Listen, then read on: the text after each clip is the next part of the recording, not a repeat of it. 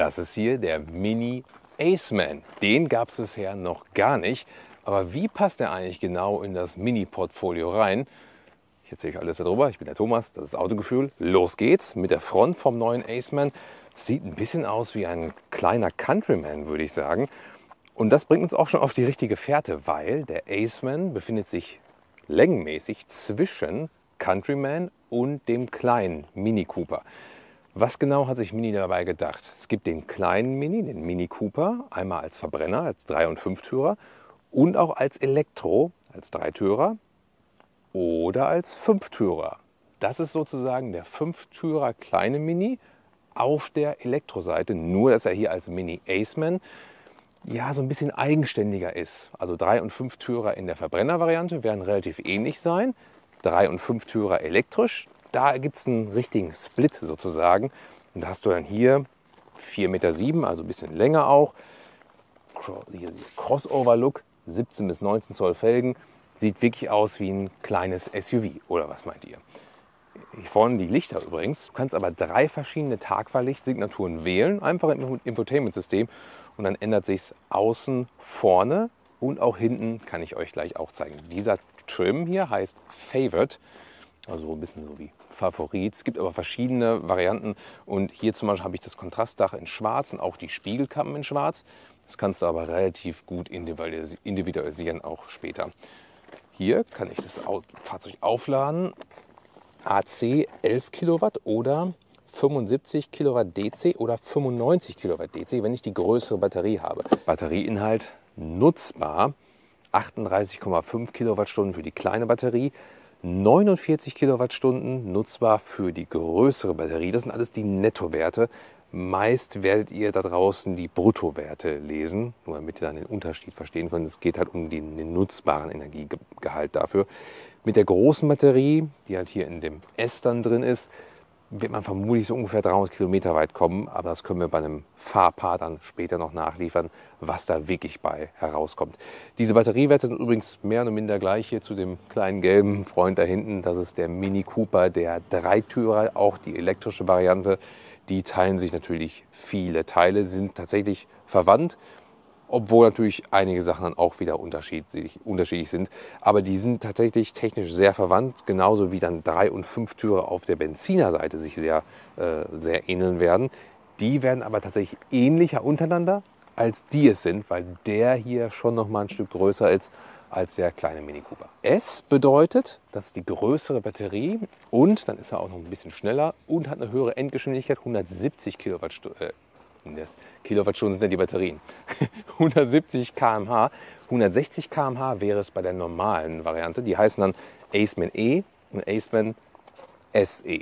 Und die sind dann auch geknüpft. Der Aceman E hat die kleine Batterie, der SE hat die größere Batterie und der beschleunigt auch ein bisschen schneller, sind dann 7,1 Sekunden anstatt 7,9 Sekunden. Frank hat er leider nicht. Er hat natürlich vorne hier einen sehr kurzen Überhang, also so viel Platz ist nicht. Tja, der Mini hat einen Maxi-Schlüssel, würde ich jetzt mal sagen. Aber ist echt ganz cool.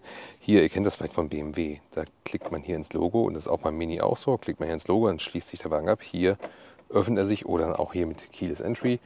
Hältst die Hand da dran oder unten drunter. Und das ist eigentlich ganz cool. Die sind hier also integriert, aber du hast trotzdem hier ein richtiges haptisches Feedback. Das fühlt sich ganz gut an. Die Tür klingt ganz gut vorne, aber witzigerweise hinten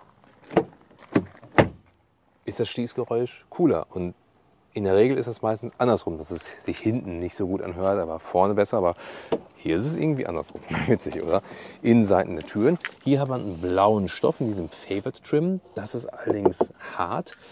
Kannst natürlich auch andere Farbwelten nehmen. Ich finde das Blaue eigentlich ziemlich geil, aber dann nicht zum roten Exterior. Die Kombination ist hier nicht so glücklich. Aber wenn ihr jetzt überlegt, wenn das jetzt hier Exterior blau oder weiß wäre und dann der blaue Interieur, das wäre echt cool. Dann habe ich hier, so mache ich die Türen von innen auf. Hallo, ich bin die Tür. und dann, äh, hier halte ich die Tür fest und ziehe sie dann zu. Und ich habe mir jetzt schon überlegt, so, hm, an was erinnert euch das? Ja, da kommen natürlich einmal die schlüpfrigen Gedanken vielleicht. Ähm, oder aber auch vielleicht Gaming, Joystick-mäßig oder sowas. Ich weiß es nicht. Also auf jeden Fall sehr eigenwillig. Lassen wir es mal so stehen. Dann das Lenkrad hier ist ziemlich cool in diesem speziellen Ausstattungslevel. Vom Design aus dem Kofferbereich inspiriert. Das ist alles auch tierfrei, sowohl das Lenkrad als auch die Sitze.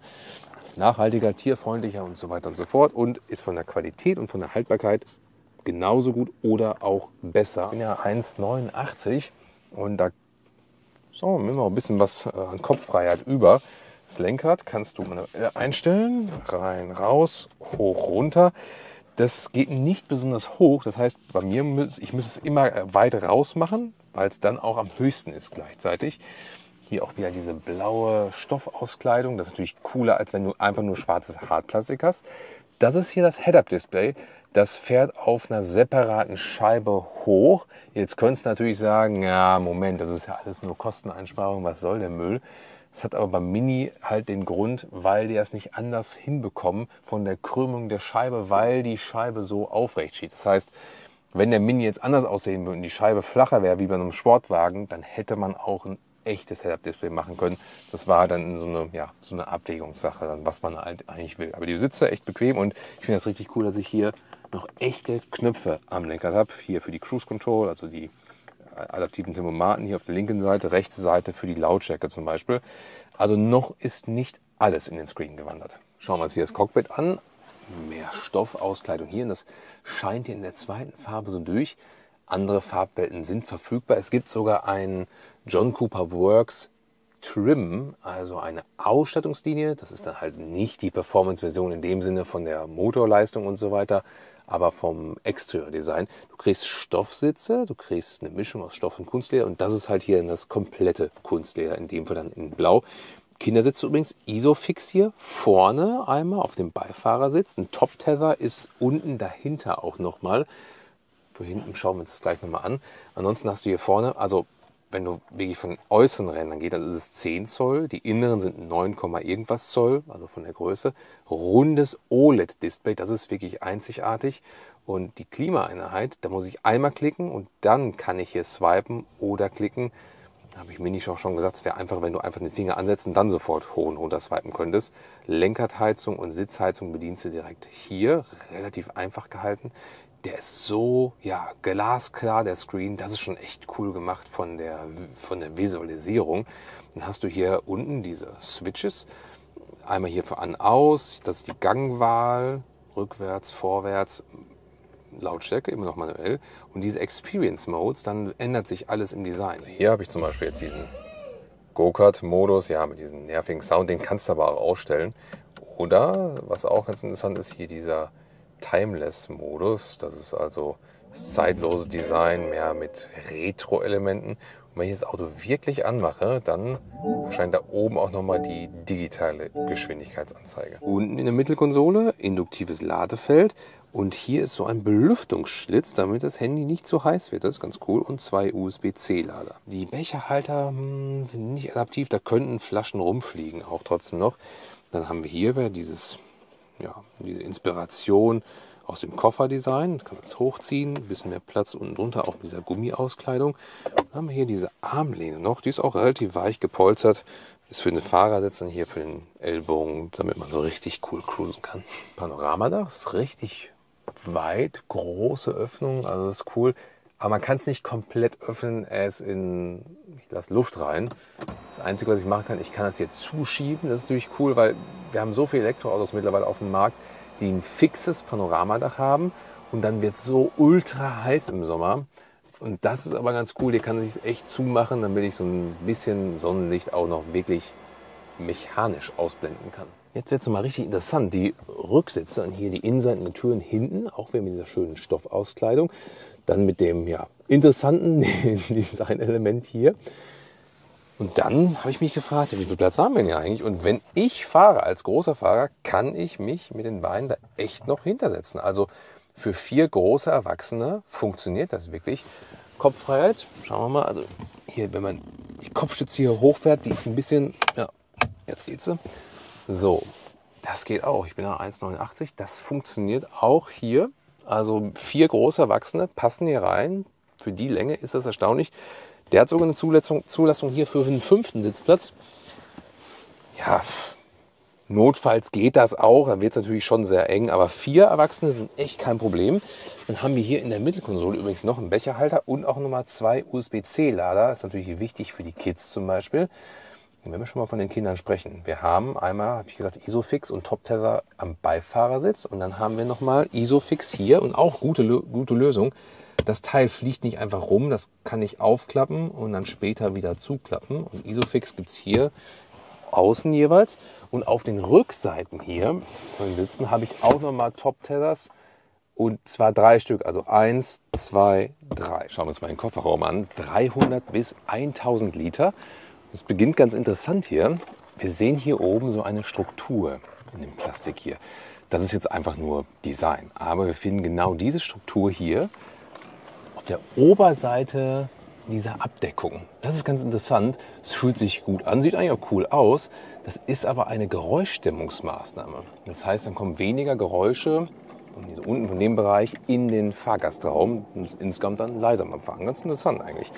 Die Breite hier ungefähr 95 cm, also nicht zu viel. Und die Länge ist natürlich auch relativ knapp, ist ein kleines Auto, ungefähr 60 cm. Aber wir können es hier noch ein bisschen mehr Platz schaffen. Wenn wir den Koffer rauspacken, können wir das hier entweder komplett rausnehmen. Wir sehen, wir haben ein bisschen Platz für ein Kabel auch noch. Links das ist der Subwoofer dann, wenn du das Soundsystem halt hast. So, und wir können auch diese untere Position dann nehmen. So, ja, genau. Und dann haben wir auch insgesamt ein bisschen mehr Höhe. Und dann kann ich hier noch rübergreifen. So, ein Drittel, zwei Drittel. Und dann kannst du auch noch Sachen durchladen. So, jetzt fragt ihr euch wahrscheinlich, was soll das denn jetzt? Stellt der Thomas jetzt noch Kunstwerke oder irgendwie sowas hier vor in den Videos? Das könnte man tatsächlich hier als Kunstwerk verstehen, hat aber auch was mit dem Auto zu tun. Und jetzt will ich mal von, von, von dir wissen, hättest du es erkannt, was da drin ist? Weißt du jetzt schon, was da drin ist? Und was es mit dem Auto zu tun hat? Pack das mal in einen Kommentar. Ich hätte es nicht gewusst. Also wenn ich es jetzt mal von außen anschaue. Pass mal auf. Really? das ist hier die versteckte Wallbox und das ist echt alles richtig solide, mega schwer. Eine interessante Lösung, wie du halt eine Wallbox so verstecken kannst, auf eine künstlerische Art und Weise fürs Aufladen. Aber wenn ich jetzt jeden Tag mein Auto aufladen müsste, hätte ich darauf, glaube ich, keinen Bock. Dann würde ich es, glaube ich, eher offen lassen. Aber guck mal hier, wenn es jetzt offen ist, sieht es eigentlich hässlicher aus, als wenn es einfach nur so hängen würde und dann oh, das wieder zuzumachen. Nee, ich glaube, dann würde ich das Teil einfach so irgendwo hinhängen. Bei mir zu Hause in der Tiefgarage, mich hat es übrigens sechs Jahre hat's, hat's gebraucht, bis ich die Wallbox hängen hatte die Rechtslage war früher halt anders. Und dann gab es, ja, Elektromobilität ist Teufelszeug und sowas. Ja, also schwieriges Thema. Mittlerweile ist die Rechtslage in Deutschland ein bisschen besser, dass du auch als Mieter selbst ein Anrecht hast, eine Wallbox zu installieren zu Hause. Du musst trotzdem noch durch die ein äh, Abstimmung in der Eigentümerversammlung. Ja, es ist zumindest deutlich einfacher geworden. Ähm, aber Wallbox, wohin habe ich überhaupt die Möglichkeit, eine Wallbox aufzuhängen? Habe ich ein Einfamilienhaus oder eine Tiefgarage? Das schränkt natürlich diesen Use Case schon mal deutlich ein. Das ist natürlich eines der Probleme noch der Elektromobilität. Die Einstiegspreise ohne Extras haben wir auch schon für euch. Ungefähr 35.000 Euro für die kleine Batterie, 39.000 Euro für die große Batterie, wobei mittlerweile mehr Extras schon quasi mit drin sind. Das ist nicht mehr ganz so krass wie früher, wo du drei Jahre lang konfiguriert hast. Das ist ein bisschen einfacher geworden jetzt definitiv.